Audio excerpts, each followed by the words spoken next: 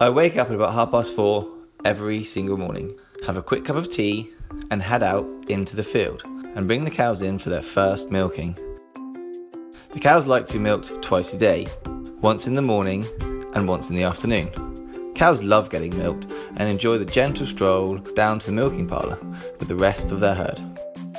They all follow each other along the path all the way to the farm.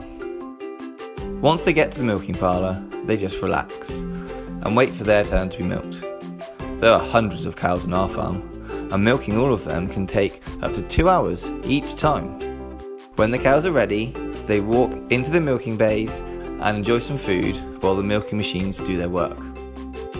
The pumps gently attach to the cow's udders and the milking process begins. The milk is carried through a huge collection of tubes to the filtration and chilling containers, ready for collection.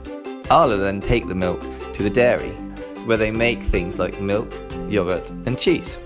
A single cow can produce over 140 litres of milk every week. That's enough for a thousand bowls of cereal. Milking a cow takes about five minutes. We then clean the bay down and get ready for the next group of cows to come in. After all the cows have been milked, we walk them back to the fields for a day of grazing and playing together.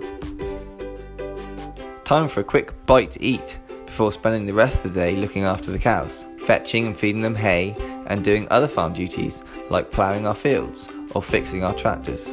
We then do it all again for the afternoon milking. Once this is done, the cows return to a large grassy field for the rest of the evening so they can graze some more before bedding down to sleep, ready to start the whole day again tomorrow. Time to put my feet up and spend the evening with my family before another busy day. See you tomorrow, cows!